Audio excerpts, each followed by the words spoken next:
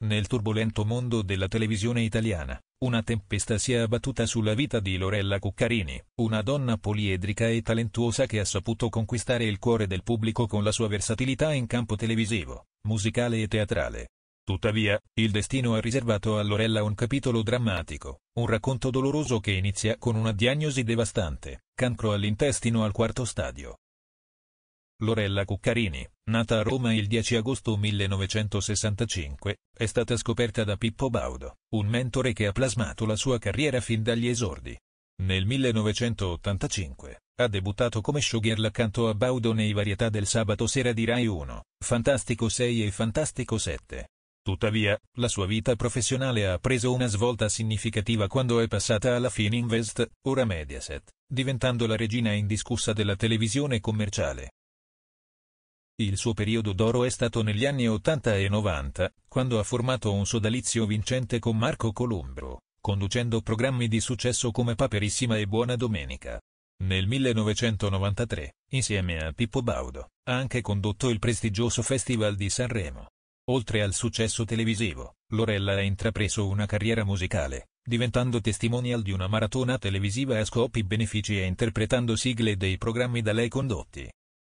Nel corso degli anni, Lorella Cuccarini ha ampliato il suo repertorio artistico, calcando le scene teatrali con successo in diversi musicali e spettacoli. Tuttavia, la sua vita personale è stata segnata da un divorzio e dalla recente diagnosi di cancro, un nemico invisibile che ha colpito il suo intestino al quarto stadio. Nella sua biografia, Lorella è sempre stata associata allo slogan la più amata dagli italiani, una frase tratta da una serie di spot per l'azienda di cucine Scavolini. Nel 2011, il riconoscimento ufficiale è arrivato con il titolo di Commendatore della Repubblica. La vita di Lorella Cuccarini è stata intervallata da momenti di dolore e sfide personali.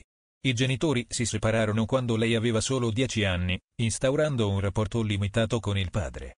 Nel 1991, ha unito la sua vita a quella di Silvio Capitta, noto produttore discografico e televisivo, con cui ha avuto quattro figli. La sua carriera artistica è iniziata precocemente nell'ambito della danza, muovendo i primi passi nella scuola di ballo di Enzo Paolo Turchi. La sua prima apparizione televisiva risale al 1978, a soli 12 anni, in un varietà del sabato sera condotto da Raffaella Carrà. Da qui ha proseguito la sua gavetta, diventando una delle ballerine di fila che hanno accompagnato Heather Parisi nelle sue tournée.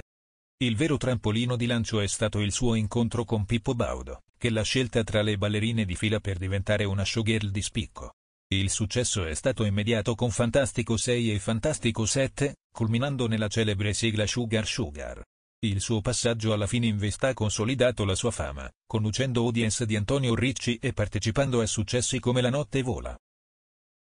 La sua carriera musicale è decollata con il disco d'esordio Lorel nel 1986 e la Itio Ballerò nel 1987. Nel 1988, ha iniziato la sua collaborazione con Antonio Ricci, conducendo audience e contribuendo alla sigla La notte vola, divenuta un'icona della musica italiana. La rivalità artistica con Heather Parisi è stata evidente, culminando nel 1988 con la pubblicazione della raccolta Heather e Lorella. Nel 1989, Lorella è stata premiata con l'Oscar TV come personaggio televisivo femminile dell'anno. Nel 1991, Lorella Cuccarini ha unito la sua vita a quella di Silvio Capitta, con il quale ha condiviso il percorso professionale e personale. Nel 1994, ha conseguito la maturità linguistica da privatista. La sua carriera ha continuato a fiorire, spaziando dalla televisione al teatro e alla musica. Tuttavia, il destino ha riservato a Lorella un capitolo oscuro e doloroso. Nel 2023, è stata diagnosticata con un cancro all'intestino al quarto stadio, segnando l'inizio di una lotta titanica contro la malattia. Il periodo recente della vita di Lorella Cuccarini è stato segnato dalla sofferenza fisica e psicologica. La malattia ha messo a dura prova la sua forza interiore e la sua resilienza. La sua lotta contro il cancro è stata un'epopea, un viaggio doloroso scandito da momenti di speranza e disperazione. Prima della sua morte, avvenuta in L, data da inserire, Lorella ha affrontato la malattia con coraggio e dignità.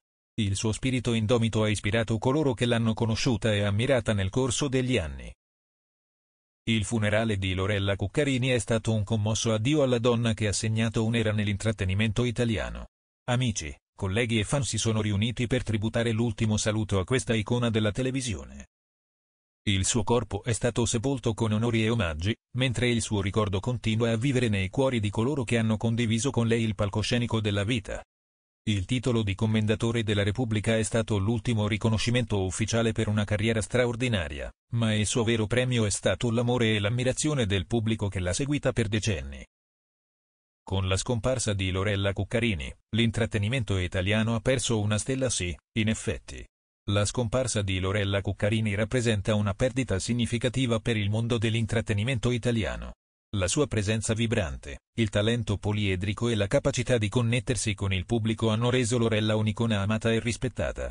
La sua carriera luminosa ha attraversato decenni, segnando momenti indimenticabili nella storia della televisione, della musica e del teatro in Italia. La sua assenza sarà profondamente sentita da coloro che hanno ammirato il suo lavoro e hanno condiviso con lei le gioie e le sfide dell'intrattenimento. La sua eredità vivrà attraverso il ricordo affettuoso dei fan e l'impatto duraturo che ha avuto sull'industria dell'intrattenimento italiano. Faccia a faccia con un bottone è un'impresa non da poco. Oltre a questo, essendo una fobia ancora abbastanza sconosciuta, non tutti gli psichiatri sono in grado di trattarla efficacemente. Per questa ragione rimane una delle fobie più terribili del genere umano. Numero 3. La geniofobia può essere un male incredibilmente debilitante. La persona che ne soffre è portata ad evitare qualsiasi contatto sociale e nei casi più gravi la sua stessa immagine allo specchio. Di cosa si tratta? La geniofobia è la paura del mento. Nei casi più frequenti il geniofobico cercherà di evitare il contatto con il proprio mento o quello degli altri. Nei casi più gravi eviterà addirittura di vederlo. Immaginati di soffrire questa fobia.